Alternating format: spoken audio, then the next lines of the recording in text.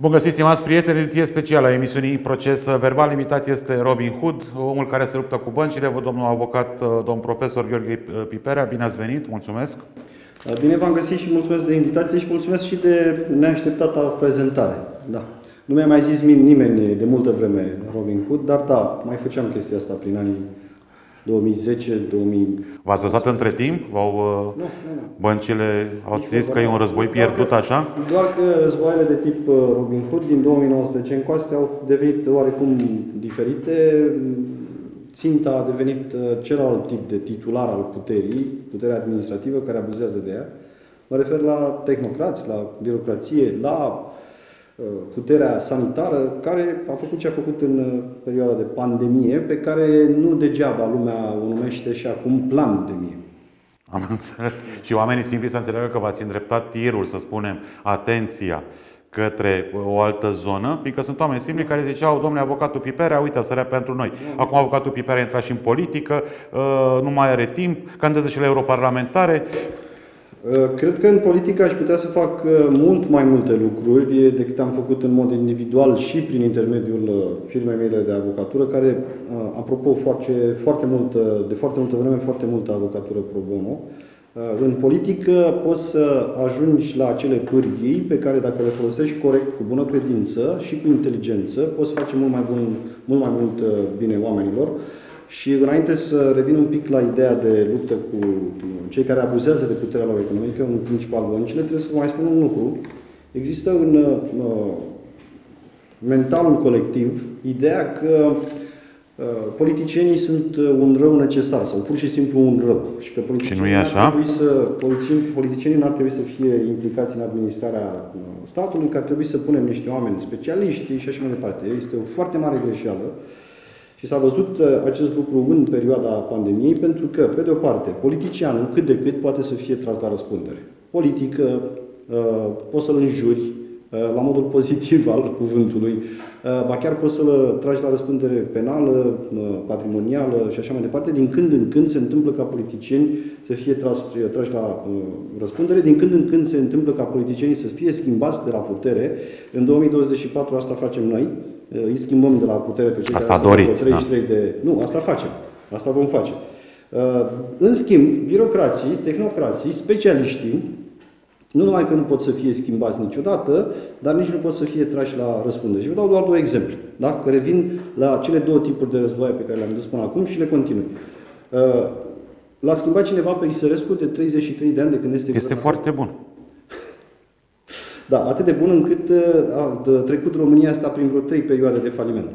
V-ar spune PSD, PNL, toți cei care au guvernat cei 34 de ani? Din moment ce l-au ținut acolo 33 de ani, l-a schimbat vreodată cineva pe Arafat? Uh, doi, l-a tras vreodată la răspundere cineva pe Isărescu pentru falimentele din 98-2001? Uh, l-a tras cineva la răspundere pe Isărescu pentru falimentele personale ale oamenilor din anul 2008, 2009, 2010, da, consecutivi anilor uh, de, de faliment criză, uh, da.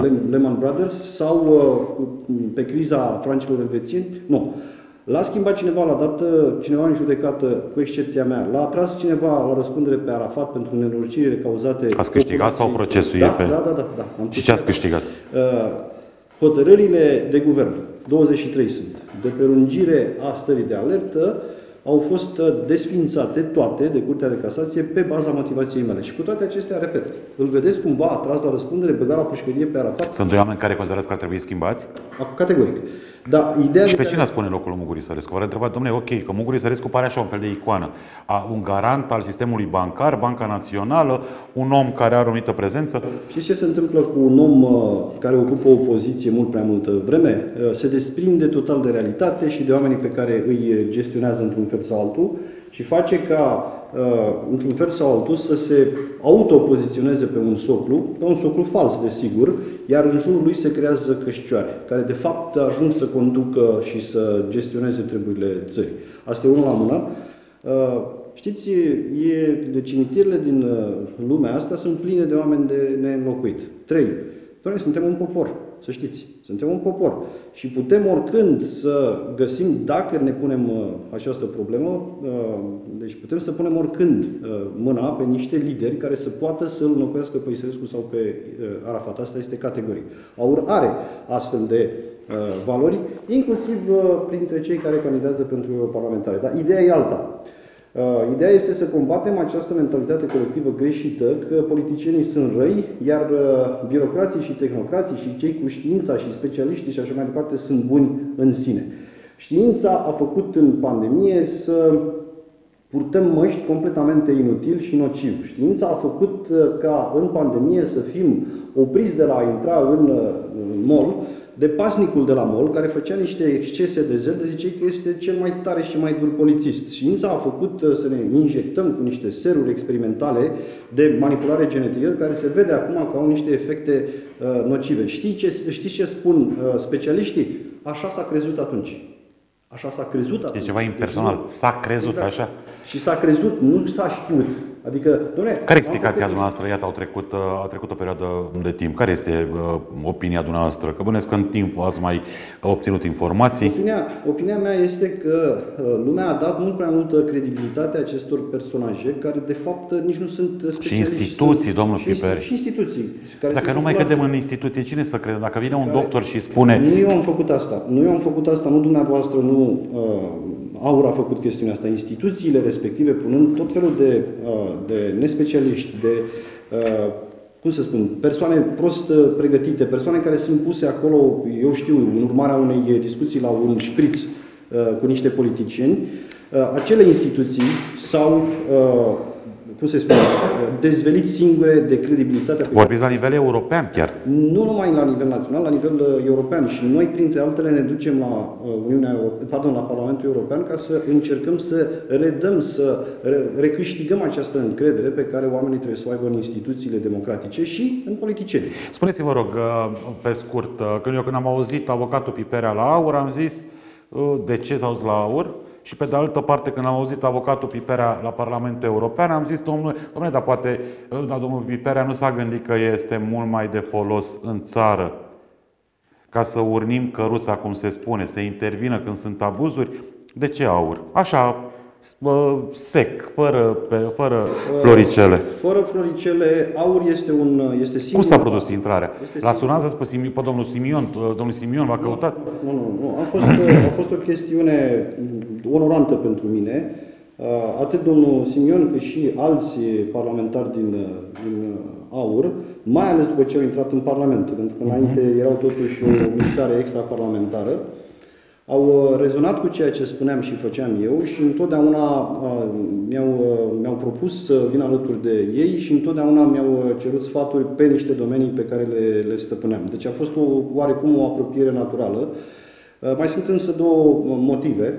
Aur este singurul partid, repet chestiunea asta pe care, care am mai spus-o de foarte multe ori, care uh, s-a creat la modul democratic, cel mai curat democratic posibil. În Spre ce sens? deosebire, spre deosebire de FSN, pe urmă de PDSR, pe urmă de USR și așa mai departe, care sunt creații uh, ale unor laboratoare politice. adică PNL-ul nu este. Sau este? Actualul PNL este. Uh, Ceea ce era PNL sau ce era PNCCD în 1990 nu Mhm. mai găsiți acum. Da? Actualul PNL e domnul Ciucă, să fim serioși, Câțu, e uh, ex-Orban, etc. Uh, Aceste partide s-au creat în laborator de către cineva, de către niște uh, uh, păpușari. Ei bine, la fel ca și mișcările mele împotriva băncilor, acest partid este o mișcare care s-a făcut de jos, din stradă. Chiar Dar de- știți că și despre aur să spune, Chiar de domne, stadioane. e creația unora care vor să încurce PSD-ul, alții spune Am ajutat de făcut aceste PSD. verificări- Am făcut aceste verificări. Le-ați făcut? Am, fă- uh, uh, am vorbit față în față cu acești oameni, mai ales am vorbit de nenumărate ori cu cei doi fondatori ai partidului, i-am privit în ochi și îmi dau seama că uh, aceste suspiciuni sunt, uh, sunt greșite. Altfel, să știți, nu sunt chiar un om care să fie așa de ușor de păcălit, n-aș fi intrat în această mișcare. Doi, trei, scuzați-mă. Uh, Eu am avut încercări de a mă pune în uh, slujba interesului public, ca să zic așa, uh, nu neapărat ale mele, mă, au venit din partea PNL. În 2016 mi-au propus să devin președintele organizațiilor, organizațiilor de București, doar că îmi dădeau un sfert de mandat. Ei erau interimari, eu trebuia să fiu interimar, deci un mandat uh, pe sfert, ca să zic așa. i-am refuzat. De asemenea, în 2020 se punea problema să intru pe listele de la PSD și m-am trezit că, deși mi se propusese poziția 1 la Camera Deputaților în București, m-am trezit că sunt pus pe acolo, pe locul 5. Pe undeva. Așa e în politică, nu știți? Vreau să mă întrebe. Și fără ca eu să fi declarat, da, sunt în PSD.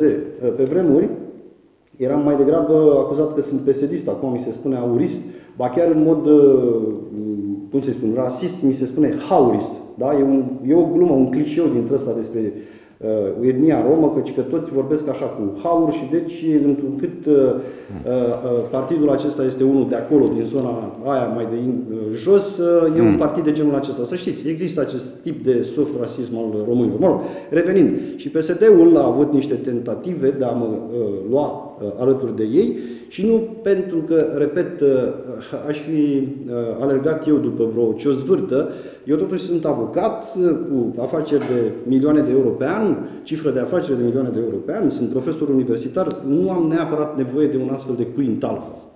Pe de altă parte, însă, ceea ce AUR mi-a propus este cu totul și cu totul Ce v-a propus O schimbare totală a establishmentului prostocrat, ăsta este cuvântul, din ultimii 33 de ani. L-ați inventat, cred, prostocrat? Uh, nu, nu, prostocrație nu e un termen inventat de mine, este inventat de domnul Andrei Marga, dar l-am preluat.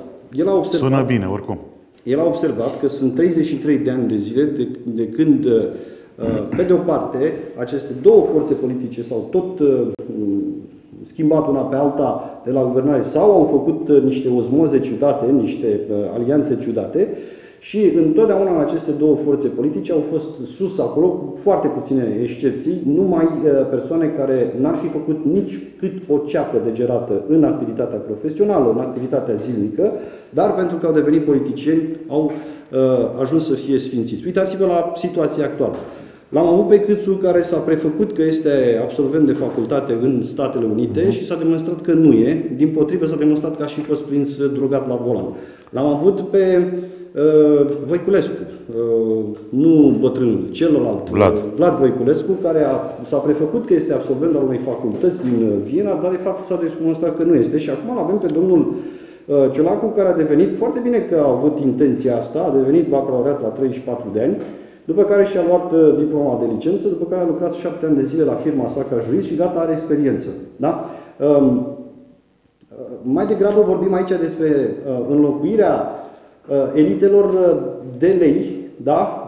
lei care vin la putere pe, pe niște principii morale, pe niște valori, Uh, cu niște elite vulpi, uh, niște elite care vin la putere prin, uh, prin intrigi, prin corupție și așa mai departe. Și cum va reuși? Mă scuzați, e foarte... Nu, vă rog. să mai spun o chestiune.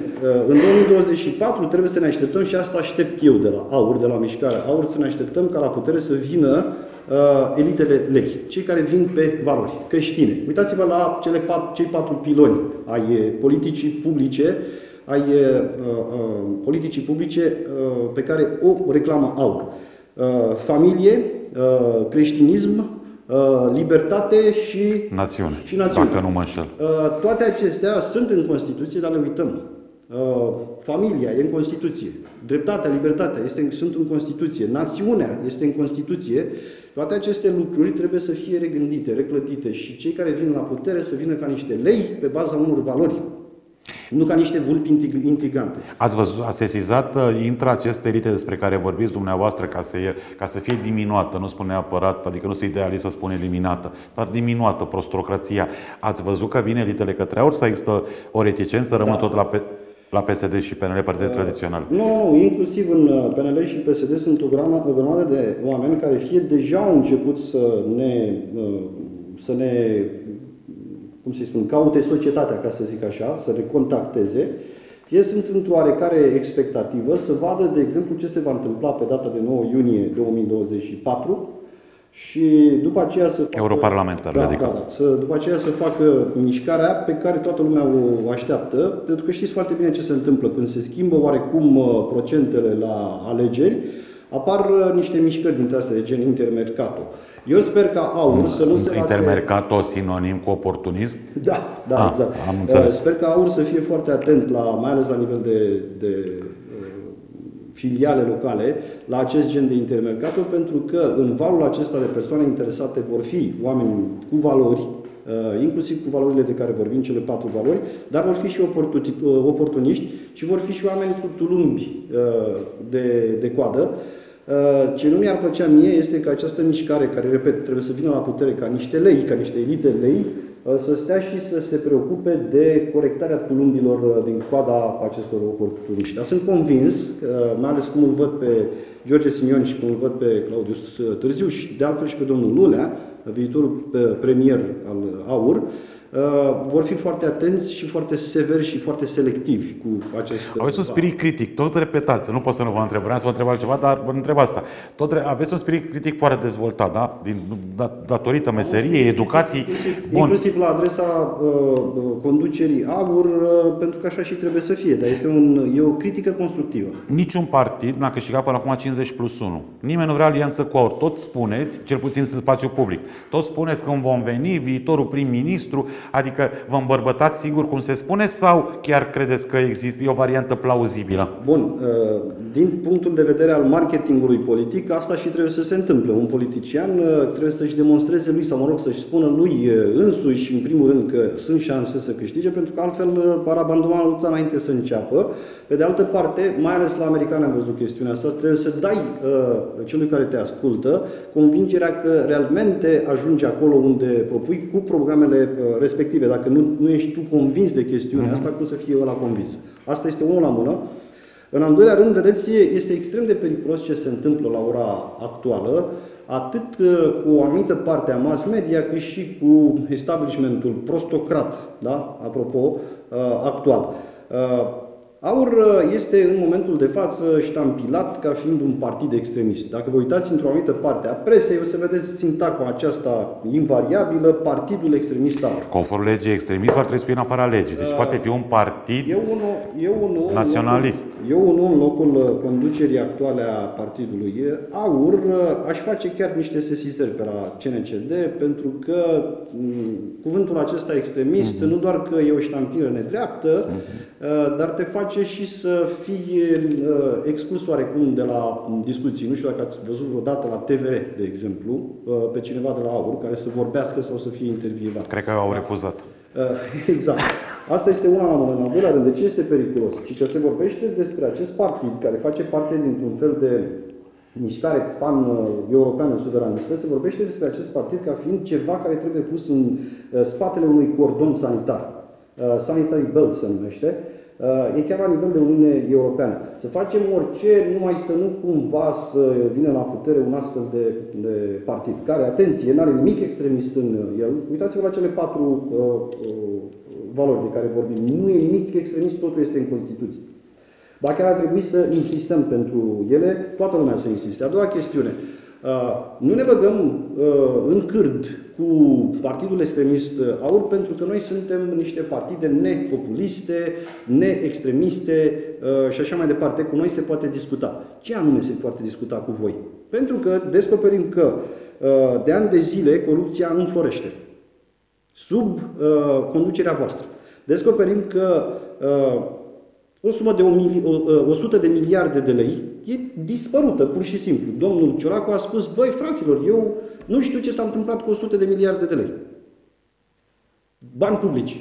Adică tu ești premier al acestei țări, ai la dispoziție toate informațiile clasificate ale serviciilor Sunt vreo 20 de miliarde de euro. Ai, ai curtea de conturi, ai corpul de control al primului ministru și îmi spui mie că nu știi ce s-a întâmplat cu 100 de miliarde de lei. 3. Uh, îmi spui de asemenea, neapărat trebuie să limităm plățile cash, da? Să-i suspectăm pe toți românii că fac evaziune fiscală pentru că am descoperit eu că uh, uh, cel puțin 25% din PIB este evaziune fiscală. Pentru că societatea n-a reacționat foarte vehement. Ba da, ba da. Începe. Începe să reacționeze, pentru că acum își dă seama societatea ce anume vrea să spună domnul Ciolacu prin această limitare a plăților cash. Ce vreau să spun este că uh, povestea aceasta cu Sanitary Belt este extrem de gravă din perspectiva democrației, pentru că Uh, sub cuvânt că acest gen de partid, cum este partidul lui Meloni din Italia, cum este partidul uh, Fidesz din Ungaria lui uh, Orban, Polonia, da. cum este partidul fraților,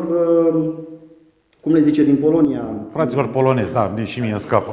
Kaczynski din, din Polonia. Franța. Exact. Nu trebuie să fie lăsați la putere sau nu trebuie să fie lăsați prea mulți la putere, pentru că nu așa, sunt uh, extremiști. Este o foarte mare greșeală pentru că te uiți în oglindă, pardon, te, te, uiți, te, uiți, te uiți la adversarul politic și observi că acolo sunt numai corupți, numai evazioniști, numai indivizi care susțin spălarea de bani. Uh, Aveți probe, da? Și așa mai departe. Asta Evident. cu numai. Mă rog, sunt mulți. Vreau să vă dau un exemplu? Vreau să vă dau, este un exemplu pan-european. Uh, în uh, septembrie-octombrie 2022, cu câteva luni înainte de așa zisul campionat mondial de fotbal din uh, Qatar, S-a întâmplat ca parchetul național financiar din Franța, care este echivalentul DNA-ului nostru, să, des- să deschidă un proces penal extrem de grav împotriva unei companii care se numește Lafarge Holcim, franco-elvețiană, pentru spălare de bani, mită, taxă de protecție pentru ISIS, Uh, încălcarea drepturilor omului în uh, Europa de, uh, scuzați-mă, în Africa de Vest și cel mai dur dintre, dintre toate, corupție în ce privește campionatul mondial din Qatar. Nu e așa că pe acest, această poveste de corupție au fost băgați la pușcărie niște europarlamentari, dintre care uh, unul a mai rămas, doamna aceea din Grecia, a fost uh, ziaristă de altfel, a rămas în, în, în arest. Deci eu nu vorbesc aici despre invenții, eu vorbesc despre chestii care sunt, se văd, de, e tigrul din odaie, Domnul pe care refuzăm să observăm.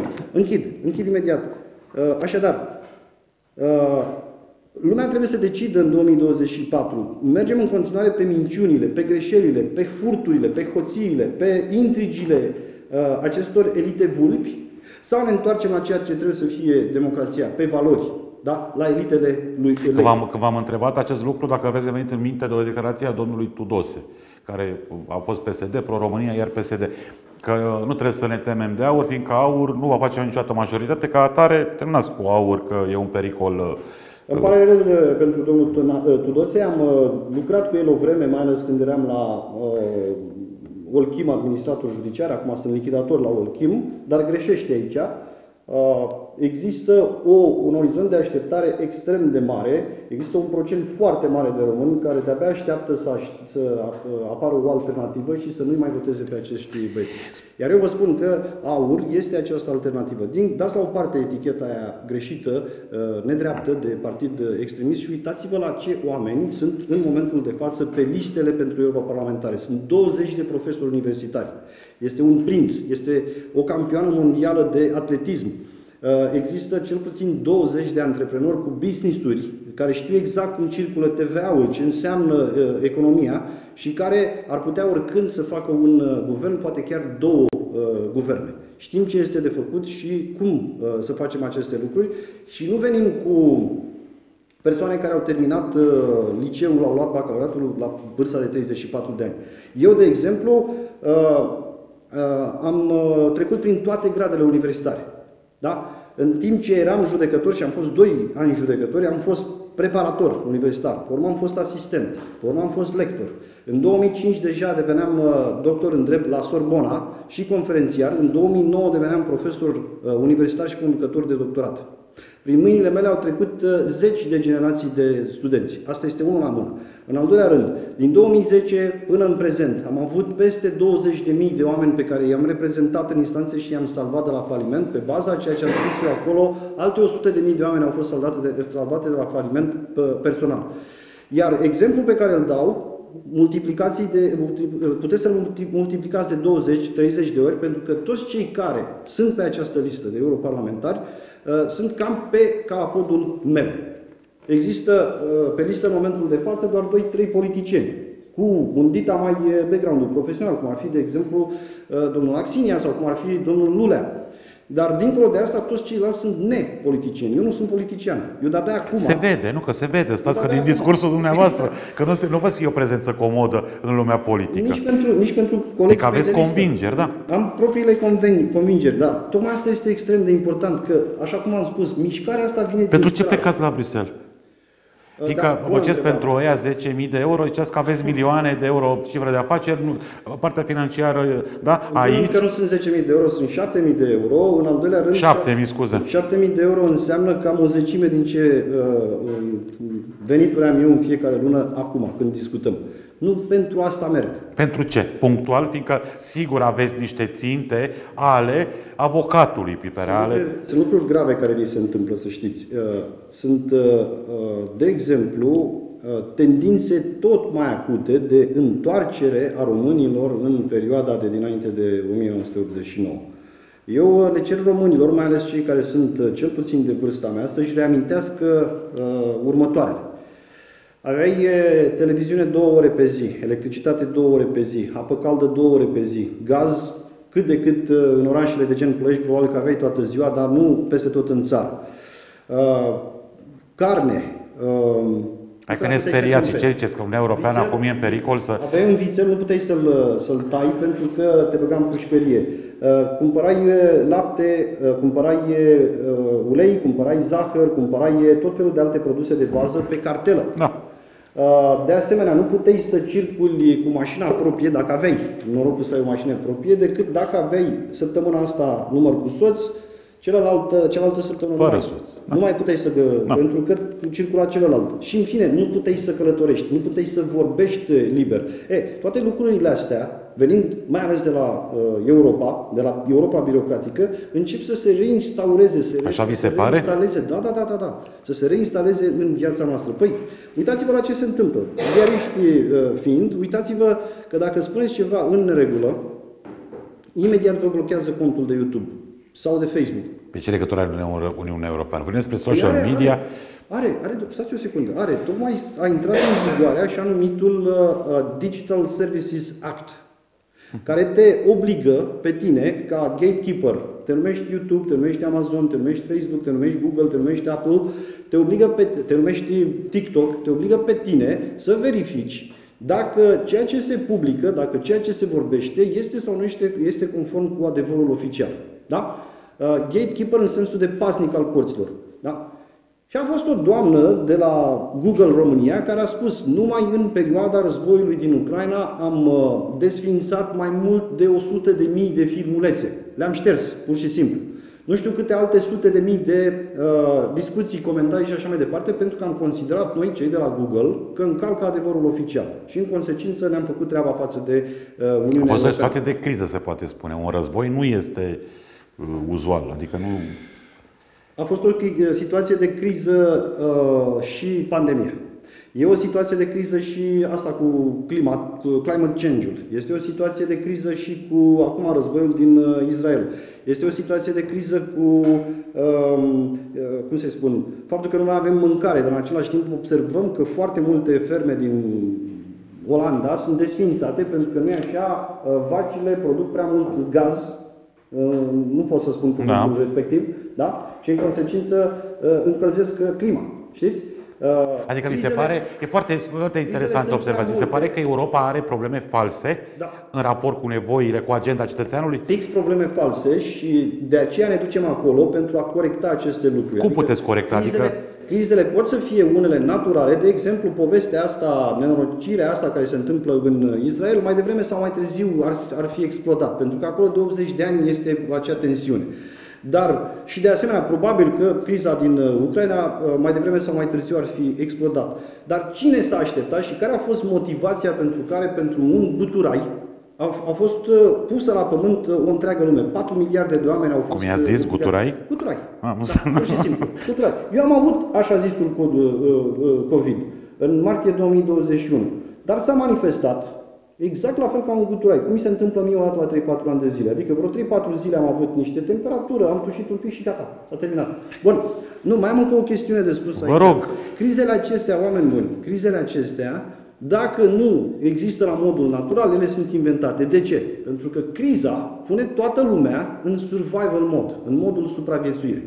Ce faci uh, în modul supraviețuire? Nu te mai interesează de drepturi și libertăți. Nu te mai interesează de familie, de națiune, de libertate și așa mai departe. Te interesează să supraviețuiești, mai bine zis să subviețuiești tu și familia ta. Și în această uh, perioadă uh, e mult mai simplu să reduci sau să neutralizezi drepturi și libertăți. Pentru că, nu e așa, e ceva neobișnuit. Se numește în limbaj uh, american, în limbajul uh, economiei comportamentale americane și al psihologiei americane, excepționalism juridic și economic. Și excepția, spuneți că Și excepția asta riscă este să o devină regulă? Exact. De asta mergem noi acolo la Uniunea Europeană și eu personal, eu personal știind lucrurile acestea, cunoscând foarte bine limbajul de lemn al uh, Uniunii Europene și al stilului în care Și îl se- veți schimba împreună? Uh, Da, nu, nu, nu știu dacă să... uh, Adică de- intenționați? De unul, singur, de unul singur nu se poate. Nici măcar cei 13 europarlamentari care vor merge de la AUR în uh, Parlamentul European nu vor reuși să schimbe limbajul de lemn. Dar Iar și ați ce- început, domnul avocat. 13 din 27, nu? Din 33. Dintre... A, ok, haideți că am înțeles. Noi sperăm să luăm 35% la alegerile astea. Ce vreau să vă spun este că nu poți să speri să schimbi milioane de pagini scrise în limbajul de lemn. Ce poți să faci însă pentru români în special și pentru europeni, dar mai ales pentru români, este să traduci din română în română acele texte și să le spui, uite, aici se ascund și pericole, dar se ascund și oportunități. O ultimă întrebare. Spuneți-vă, rog, domnule bă, avocat, domnule profesor, se tot vorbește și chiar e o temă care mă preocupă și pe mine la nivel personal, că Europa a rămas fără lider și implicit fără personalitate, fără direcție, fără Europa care, da? era leagănul civilizației, Europa care, care, care, Aici se pare că este într-o situație în care este, uh, merge după anumite superputeri. Nu mai avem identitate, Eu- ca și Uniunea Europeană. Uh, s- Doamna Ursula von der Leyen este, bă, prestația domniei sale este pusă sub semnul întrebării. Noastră am văzut că sunteți un fan înfocat al doamnei Ursula. Uh, Ne mai comentă. Spuneți-mi, eu vă rog, apropo de identitatea Uniunii Europene, dincolo de alegeri și de liderul acela care, ultimul lider recunoscut, a fost Angela Merkel. Cu bune, cu rele, dar spunea, domne, Angela bă, conduce, bă, este bă, portavocea Uniunii Europene. Vi se pare că Uniunea Europeană rămâne fără identitate și fără, o, fără un sens, fără un traseu? Um, Două clișee o să vă rog să-mi permiteți să utilizez, dar nu cu intenții rele. Uh, Henry Kissinger, care trăiește și acum, are Da. aproape 100 de ani, uh, a fost întrebat la un moment dat, dar de ce nu uh, vrei să discuți cu Europa aceste lucruri? Mi-a spus, Europa? Care Europa? Spuneți-mi și mie cine reprezintă Europa. Cu cine să, vă, cu cine, pe cine să sun ca să vorbesc da, în numele Europei? A doua chestiune, tot așa ca clișeu. Uh, Uniunea Europeană a funcționat uh, bine și a fost uh, uh, un fel de paradis al drepturilor și libertăților uh, doar în uh, perioada de după baby boom, uh, adică după 1965 încoace până pe la nivel de 1989 când a picat uh, zidul Berlinului, uh, lucru care în mod paradoxal uh, n-a avut un efect uh, foarte bun pentru Europa, ci din potrivă. Um, Cea mai bună perioadă a Uniunii Europene a fost cea în care au fost uh, cancelar, respectiv președinte, uh, Helmut Kohl și uh, François Mitterrand. Uh, După aceea totul s-a degradat. Pentru că uh, un- o construcție care ar fi trebuit să fie o Europa a națiunilor, o construcție care ar fi trebuit să fie o Europa a libertăților economice, o construcție cu efect, cum să spun, cu, cu, cu motivație economică. Economică de ce? Ca să se evite ceea ce s-a întâmplat în anii anteriori, în secolele anterioare, adică să se evite războaiele între Franța și Germania, care întotdeauna s-au transformat în războaie mondiale. Această Europa a devenit din ce în ce mai mult o, democrație, o birocrație. Din ce în ce mai mult uh, s-a uh, intenționat ca uh, acele competențe care trebuie lăsate în sarcina sta- uh, statelor să fie uzurpate, că ăsta este cuvântul, de Comisia Europeană. Știți? Uh, Construcția asta pe tratate a Uniunii Europene este uh, pe trei tipuri de competențe. Există niște competențe ale statelor membre, lași statele membre să se ocupe, de exemplu, de problema de familie, de problema de justiție, de problema de sănătate. Da?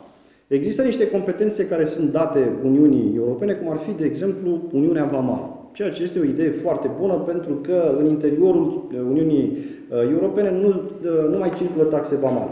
Da? Ceea ce înseamnă un, uh, o explozie pur și simplu a comerțului în interiorul Uniunii Europene. Ceea ce este, repet, foarte bine. Există însă și niște competențe partajate cum ar fi concurența, protecția consumatorilor, etc. În ultima vreme sunt luate și uh, competențe din domeniul sănătății, cum a fost în perioada pandemiei.